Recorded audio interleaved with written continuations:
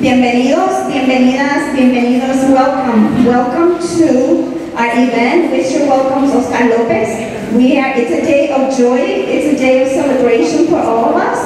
We know that Oscar is here because of his strength, because of his work, but, and also because of the international campaign that happened. Puerto Ricans in the diaspora working together with Puerto Ricans um, in the islands and our allies and accomplices who help us lead this campaign to have Oscar here.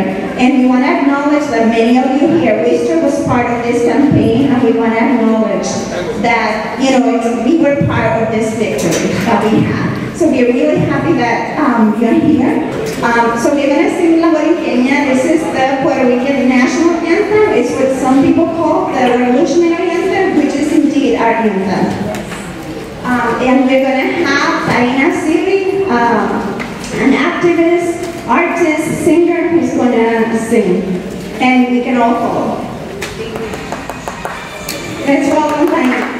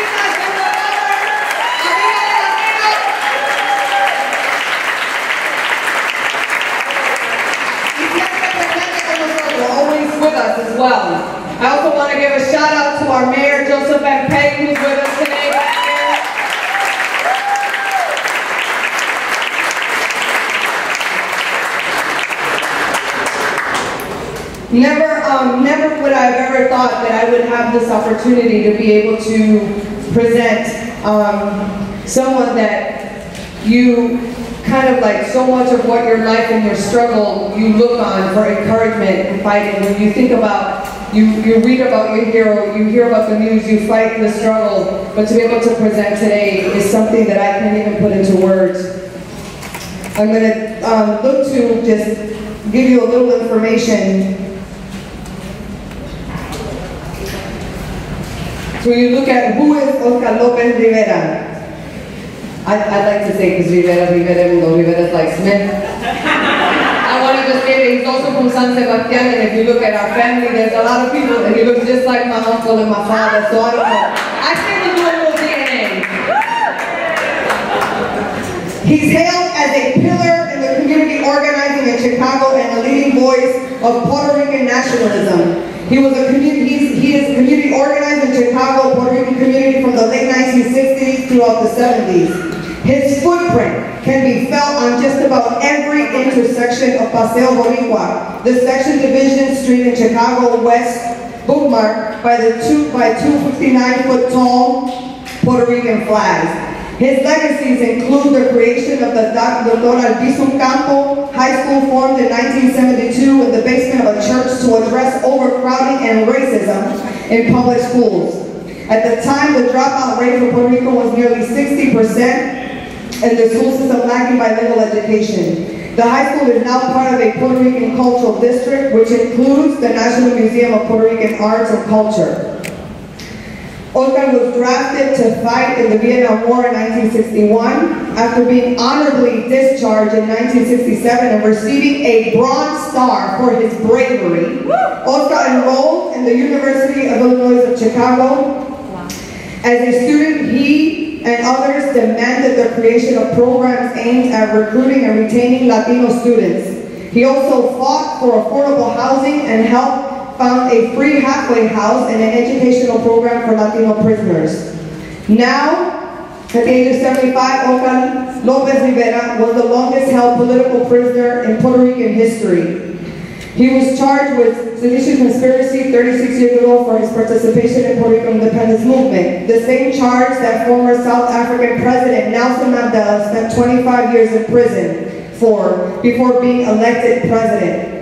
Olga was never accused or convicted of hurting anyone or participating in any violent crime, only for fighting for his country to be free.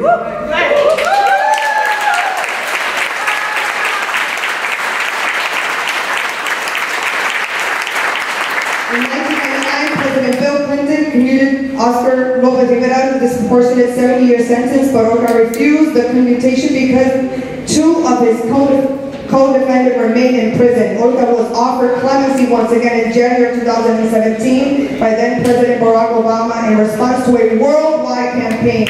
Olga Lopez spent 36 years in prison, but his release came at a time of tremendous turmoil for Puerto Rico. It is an honor to be able to present, and I will ask you to please stand onto your feet as we welcome my hero, your hero, our hero, Oscar Lopez Rivera to the stage.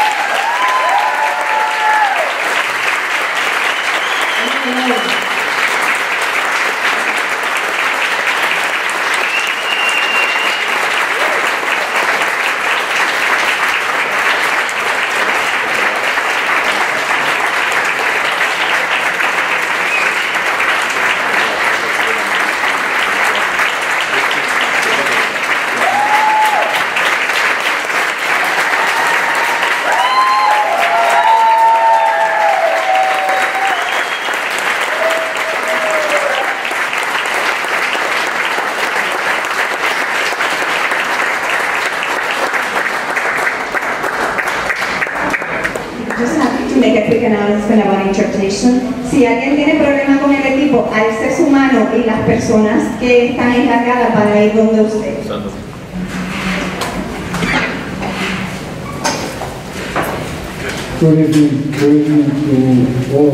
Buenas noches, buenas noches a todos y a todas.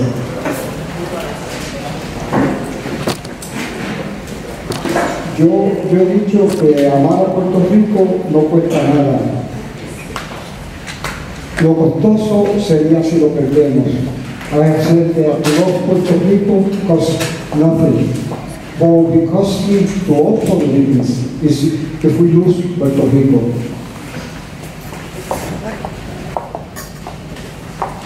Colonialism, colonialism is a crime against humanity. And no country has the right to possess another country, and no right, eh, and no country has the right to colonize other countries. Puerto Rico has had the unfortunate experience of not ever having had the opportunity to be an independent and sovereign nation. So when we struggle, when we struggle for Puerto Rican independence, we're struggling against a crime against humanity. I would like for people to know that. But I would also like to know this, that on the 17th of May last year, when I came out of, out of home confinement, I told all Puerto Ricans that in order for us to decolonize Puerto Rico, if we love Puerto Rico, if we love our culture, if we love our way of life, if we love our language, then it behooves all of us to do everything possible to decolonize Puerto Rico. We have a history of struggling and probably one of the struggles at the end of the 20th century was to get the U.S. Navy out of Vieques. And it was the last struggle, but mostly all Puerto Ricans came together with,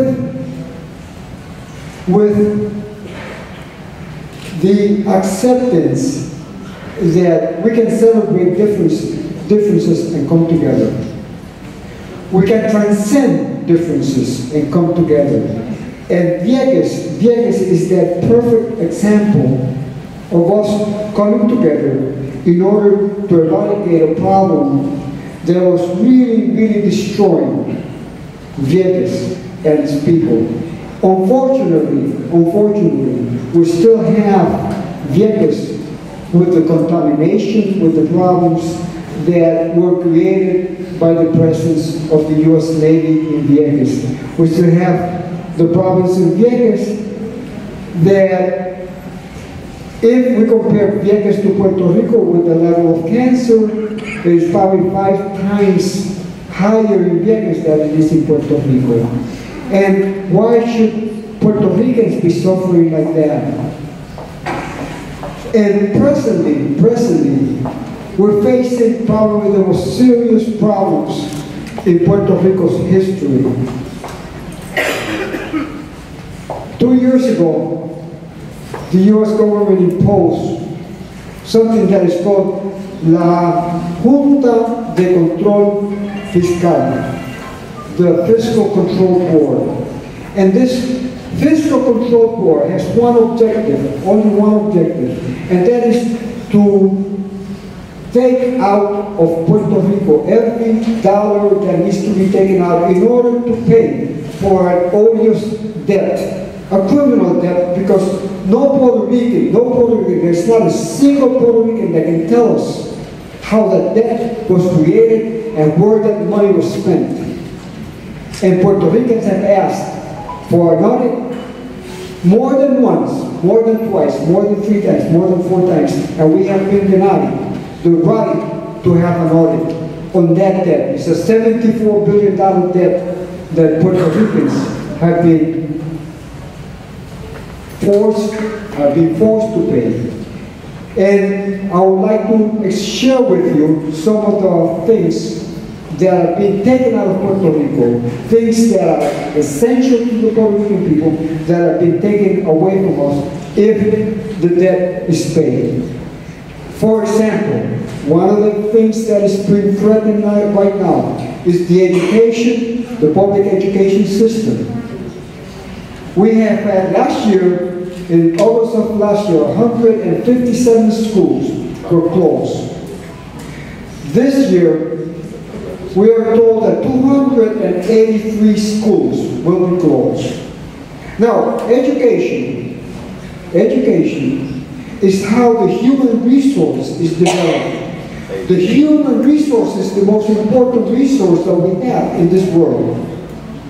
It is the human being that has the potential to make this a better and more just world. It is the human being that also has that bad side of making this a worse world than it should be. So, as we face this debt, and schools are being threatened, also the public university system in Puerto Rico is being threatened. We don't know how much money right now the tuition will be raised by probably $100, probably 150 but for a poor Puerto Rican to be able to be able to get into the university this coming year, the tuition will be much higher than last year. So if we don't have the money to pay for that tuition, what are we going to do? Historically, historically, there is a debt system that has been created for students in this nation. From probably 1985 to 2012, the students in this country had a debt of $1.9 trillion. Now, that's happening here. Now, in Puerto Rico, we cannot, we cannot afford, we cannot afford to raise one penny on that tuition because we don't have the money. One of the things that has been promoted, and this is something that is to be of interest to young Puerto Ricans, is that the pay, the basic pay in Puerto Rico for young people from the ages of 18 to 25 will be raised, will be raised, or will be lowered to $4.50. I don't know how people can live on $4.50. When Puerto Rico, Puerto Rico cost of living is much higher than anywhere in the United States. So what is it that they want for the young people to do? Well, probably starve because with 4,050 cents an hour, that's not enough to live and have food and have shelter.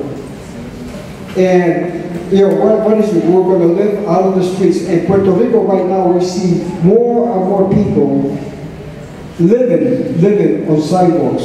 Something that I had not seen before, before 1981 in Puerto Rico. So, the problems are there. The problems that we're facing are serious problems. And then we have Hurricane Maria, and we, before that we had Hurricane Irma. And the devastation that Puerto Rico has endured is incredible.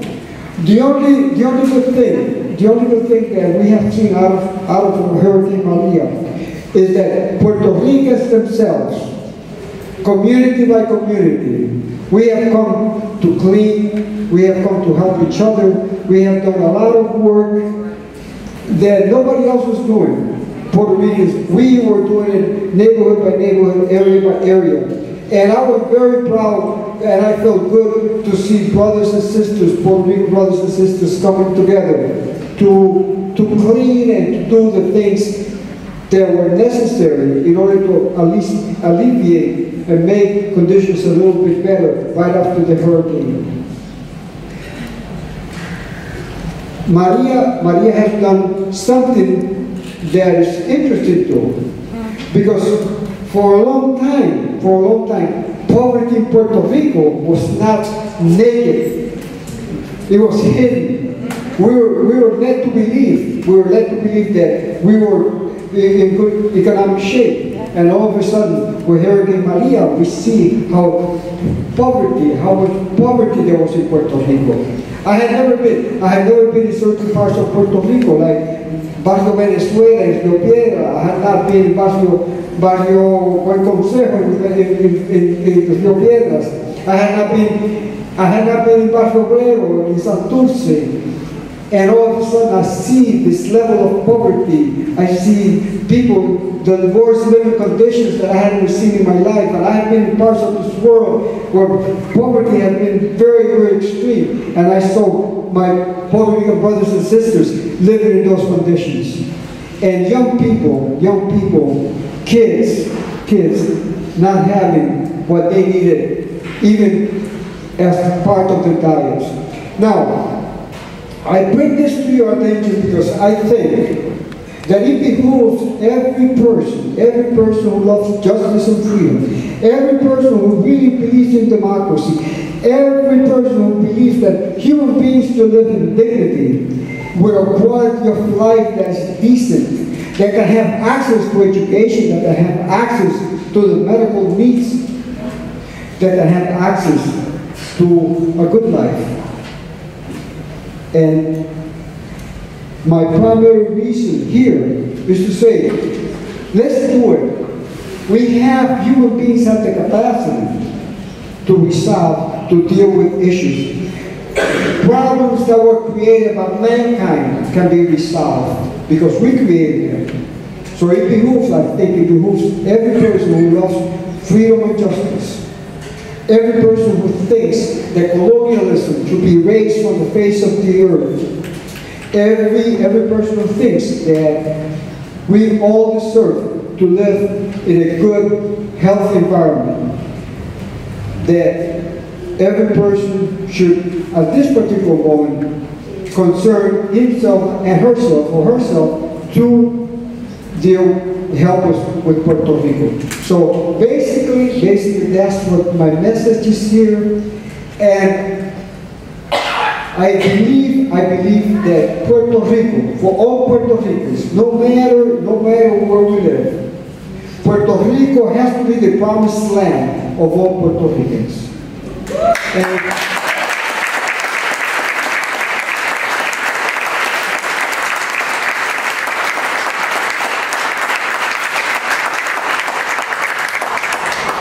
And this is the moment to struggle and to make Puerto Rico that promised land, that land, and to transform Puerto Rico into the idyllic garden that it has the potential of being. So I thank you very much. And I want also to say this. I have in my heart a profound gratitude to all Puerto Ricans and to every single person who helped with the campaign for my incarceration. I would not be here, I would not be here if it was not for the solidarity and the support that has been given, has been given historically to Puerto Rican political prisoners. So my heart is full of gratitude, my heart is full of love, and I will say this, que viva Puerto Rico libre.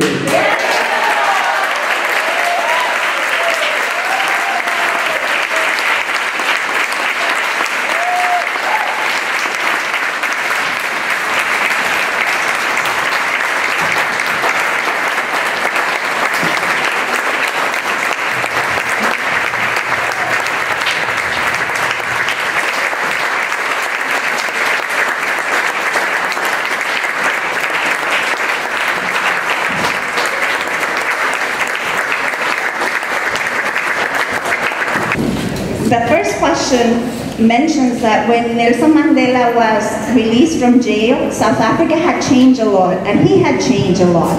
So the question for you, uh, Don Oscar, is um, in what ways your ideas have changed um, since your release? I, I think that the biggest change has been the fact that I was hoping to see a different Puerto Rico. Uh, and that I was expecting to see better conditions. And what I found was uh, a, a Puerto Rico that uh, has been thrown deeper and deeper into poverty. Mm-hmm. Puerto Ricans have been forced to leave Puerto Rico mm-hmm. more and more. And one time, Don Pedro Albizu Campos wrote something that probably has some meaning to us today. He said, the U.S. government wants to cage but not to bird. And, and we see today more and more the possibility of the cage being there and us not being there. So I, I, I- I would say that that's part of the sadness that I feel, but I'm also hopeful because we have to be hopeful. To lose hope is never an option, okay? So no matter how difficult it is, no matter how bad the situation looks, we can always move forward. So I hope that we understand that too.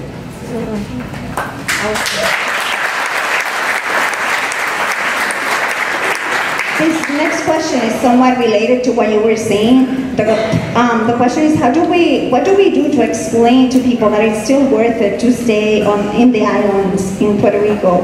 Um, what do we do when there's so many of us here? I, I think that, that there are ways, there are ways that we can stay in Puerto Rico. And, and we welcome, we should be welcoming Puerto Ricans to come back to Puerto Rico. How is it? If we, if we change the governmental structure, if we change where the interest of the Puerto Rican people comes first, not the interest of anyone else, but the interest of the Puerto Rican people. If we, we can do it, we can do it, we can create jobs, we can create a better and stronger Puerto Rico. I'm, I'm going to use an example. An independent Puerto Rico would have from 9 to 12 miles of water. We can use that water to develop a fishing industry. I grew up in Puerto Rico where Puerto Ricans used to fish what we used to call uh, it- it- it's, a, a nice, nice uh, uh, uh, chinchorros. And, and the chinchorro was a net, and the people would roll out in the, into, the, into the sea, into the water, and take the, the net and drop it, and then later on go and lift it. And it was an artisanal way of doing uh, fishing. But if we went around Puerto Rico, we would see that kind of fishing all over Puerto Rico. Yes, yes. Today, today, because we cannot compete with a big ship, they can come in into the Puerto Rican, what are Puerto Rican waters, and they can fish there. Why can we not have the ability or the, the, the, the need, the things that are needed to fish in the waters? Those are our waters. Let's have the waters. Let's have access to the water. We can do it because we used to do it. Yes.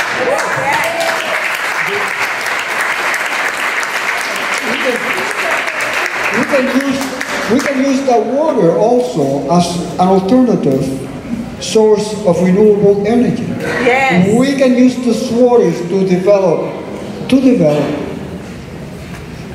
uh, ecological, uh, uh, beautiful water. You know, we can go there. We can enjoy the water. Some some kind of uh, ecological tourism. We can do it, and we can also plant seaweed, you know, something that is important, something that is sold. So if we have access to those waters, we can begin the process of becoming self-sufficient. So that's a way to look at the future of Puerto Rico. And I'm only using an example. I can use many examples to make Puerto Rico a better place.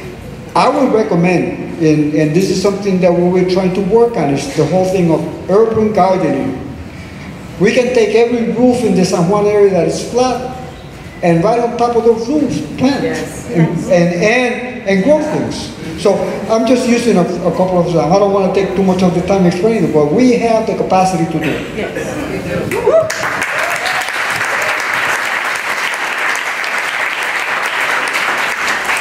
So the next question is like, how do we get there? What are some of the political issues that are impacting Puerto Rico? How to, what would it take for Puerto Rico to be free from the boot of the U.S.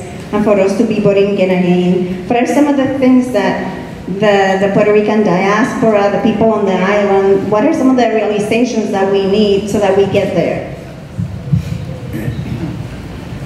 I think, I think that, you know, the answer can be very simple. We have said that what we need most is to transcend, to transcend our way of looking at colonialism. We can begin to do something that we have not done in the past.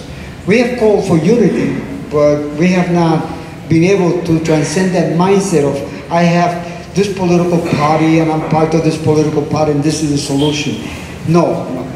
We are, the solution, the solution will come if we find harmony among ourselves. Yes. And if Yes. we undertake, if we undertake the task of working hard to transcend, to transcend the little, little problems, little differences that are, we should be able also to celebrate our differences. That's right. Because Yes. there's no need to have, you know, allow the differences to stop us from doing what needs to be done. That's right. Yes. So I think, I think that let's put aside the little differences and let's work towards something that is meaningful to all Puerto Ricans. That, that is, we can work towards the decolonization of Puerto Rico. We can go this year to the UN, demand from the, uh, from the General Assembly to take the issue of Puerto Rico. I would say that we could go to Switzerland and demand, demand again, for, for, for the international community to take its responsibility for the case of Puerto Rico because it behooves that international community, so-called UN, to deal with colonialism because colonialism, they has been voted over according to law, according to international law, Puerto Rico has the right to be a decolonized country. Colonialism is a crime against humanity, so let's go to the UN, we can do it this year, and say, hey, listen, yo, we want Puerto Rico to be an independent and decolonized country, okay? So I think it's, it's not that hard, it's not that hard, but do it with love. I, I, I, think that the magic, the magic in the Puerto Rican heart is that Puerto Ricans have a lot of love for Puerto Rico in their hearts. Let's use it, and let's make Puerto Rico the nation that it has the potential of being.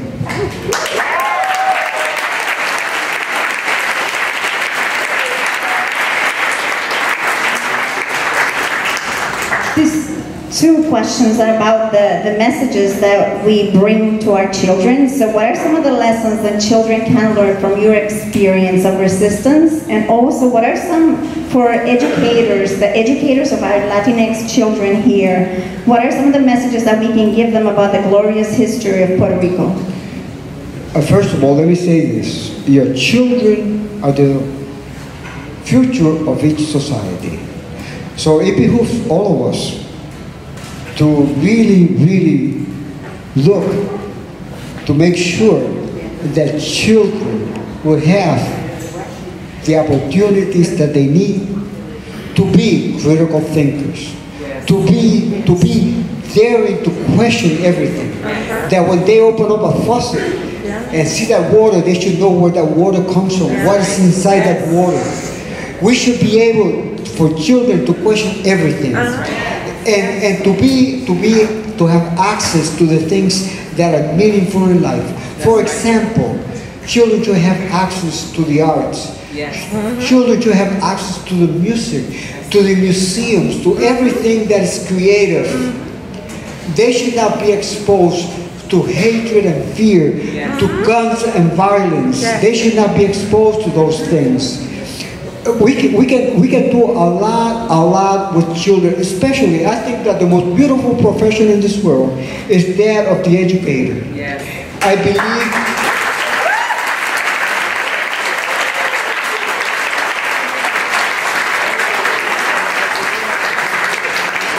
I believe that education, you know, is through education that we can really elevate ourselves. And, and, and the good thing about human beings is that we never stop learning. You know, we, we, we, we accept at a certain age that we can no longer be functional or that we can no longer do things positively.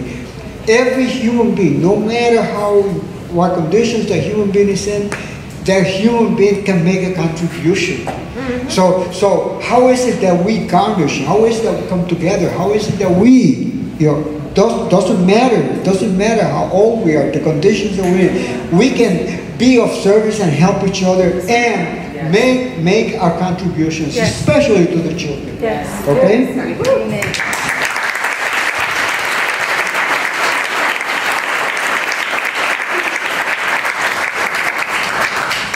What are your thoughts on the progressive movements in Latin America? How do you see uh, Free Puerto Rico being part of it? And also, what would you say to a young revolutionary here or anywhere um, wanting to do his or her part, their part for the Puerto Rican people?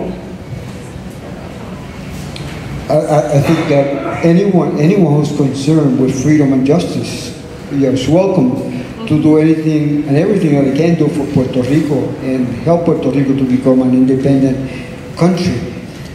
In, in, in regards to, to countries that uh, are progressive, in, in 19, I think it was like 1996, I was in prison and this man walks into a, a- a- an audience and he says, La coca no es cocaína. And, and it, that, that voice you know, is uh, like a haunting voice. And all of a sudden, you know, they, they identify as Evo Morales. And, and why, why was he saying this? And, and, and it made a lot of sense to me. La coca no es cocaína. And little by little, little by little, he kept on working and working and working and working. And in spite of the fact that the United States government did everything possible not to allow him to be president of Bolivia, he was able to become president of Bolivia.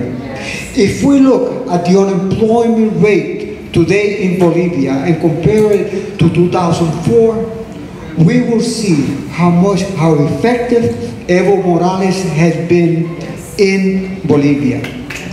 Just one example. Just one example. Should we, should we not celebrate what he has achieved in Bolivia? I, I was surprised and, and really, really, really happy to hear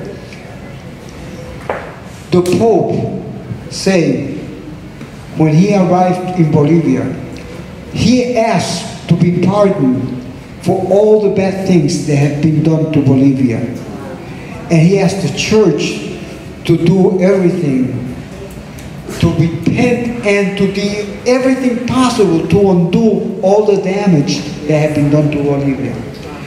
And, and he also thanked Evo Morales for what he was doing, the great things, because it is this man, you can see the love in his eyes and how he speaks about the struggle that he has to wage in Bolivia to elevate Bolivia. So I think for me, that's a good example. I also, I also I have a, a profound admiration for Jose Pepe Mujica.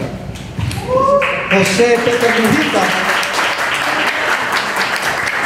Jose Pepe Mujica spent 10 years in solitary confinement. Worst confinement. I, I experienced terrible conditions in prison. But my conditions were nothing in comparison to what Jose Pepe Mujica went through. Yet Jose Pepe Mujica came out of prison more humble than when he went into prison, better prepared to address the issues of the Uruguayan people, doing things that I had never seen a world leader do. Take a Volkswagen, take an operated tractor, live in a very humble, humble home, and tell the world how important it was to make this a better and more just world with examples. So I think I'm citing those two examples as two people that we can emulate who are worthy not only of, of us and our love and respect, but I think the world to have love and respect for them. And I think that emulating their examples is a worthwhile uh, deed. And our last question. How do you, how do you keep hope alive? How do we keep hope alive? There's no option. There's no other option. You know, imagine a human being without hope. Imagine a human being without dreams. imagine a human being. What kind of a human being are we if we don't have hope? If we cannot see, uh, there, there's a there's a there's a, a, a young girl right here, you know, uh, and and I, I see her right, and and and, and I see children, and I see, you know, that we have to have hope at least for them. If we don't, hey, you know, if we don't have it, hey, let's grow it. Let's let's show them that we are hopeful people, because there's no option. There's no option. We cannot. If we lose hope, we lose ourselves. And what is a human being without hope? Or what is a human being without without music? Or what is a human being without art? What is a human being with, without love? Okay, so yes, be hopeful forever and ever.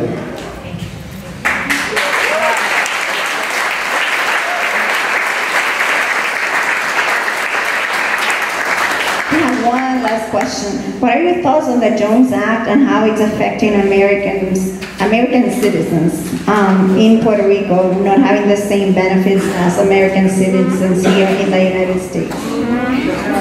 I, I think that the Jones Act is, is something that uh, if people study it, eh, and, and eh, a person has any, any, any kind of uh, thinking objectively, the first thing that, that a person should say is, hey, erase that, throw that in the trash.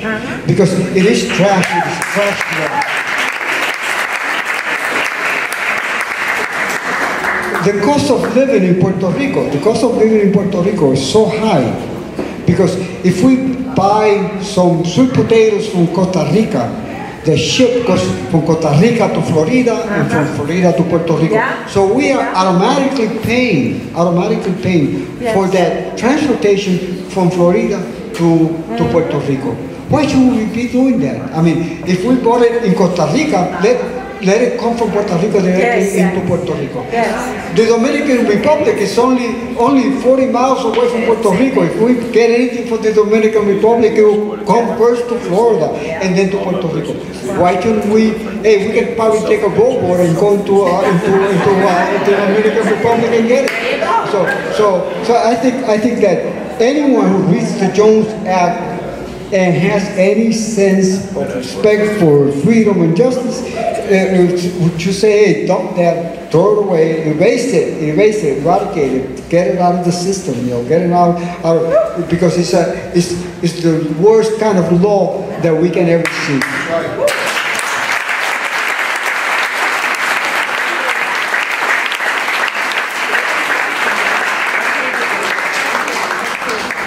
Muchas gracias, Don Oscar. Thank you so much. Our hearts are filled with gratitude. It's always so inspiring to hear you speak, to hear you sharing your experiences. So thank you so much. And thank you so much for coming to Worcester. Thank you, thank you, thank you.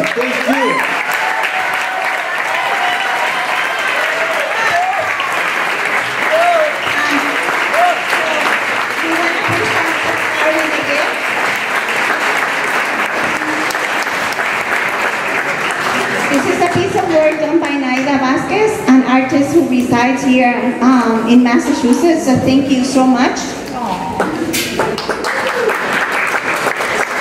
To. Esto también es para usted. Bueno, otro aplauso para Oscar. Thank you so much.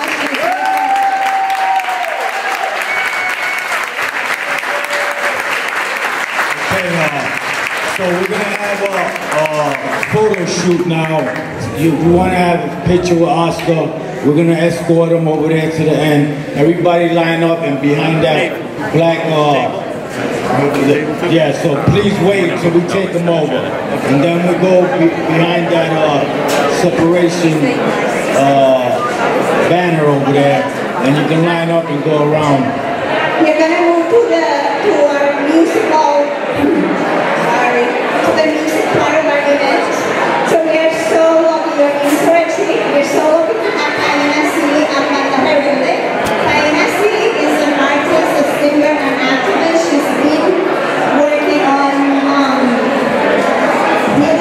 healing justice and